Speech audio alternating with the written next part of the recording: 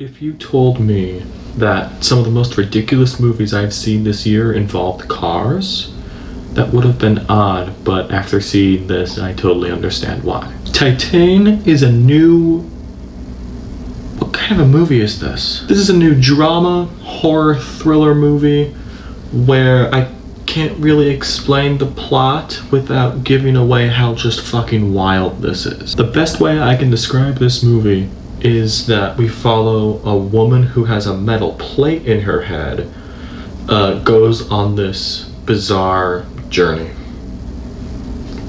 That's the best I got without giving away anything about it. If you haven't heard this yet, when the BBC's review of this movie dropped, they said that this was the most shocking movie of 2021 get where they're coming from and I feel the same. The most viral part about this movie, the one that's getting everybody talking, was what got me to see it, was that our main character here is impregnated by a car.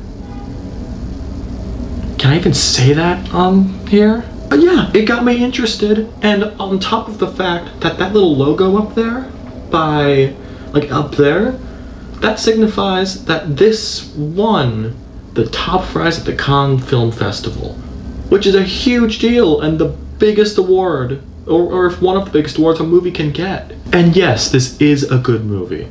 Uh, the acting from both Vincent Lindon and Agatha Rousselle are incredible. It's just, I, I don't know how to explain this. Everything about this movie is absolutely ridiculous. It's really, really good, and I understand why it won this big film award.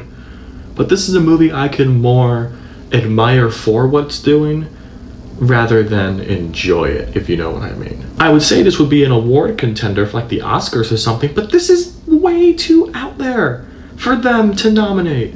But I don't know, this won a huge award. I, I don't know. I, I don't know what this movie's gonna do. I don't know. What I can say is that this movie is unique and ridiculous enough to have its whole new story and it's in a new echelon of storytelling and film, especially in French film, because this is French. But this is a movie I can more admire from afar than physically enjoy watching.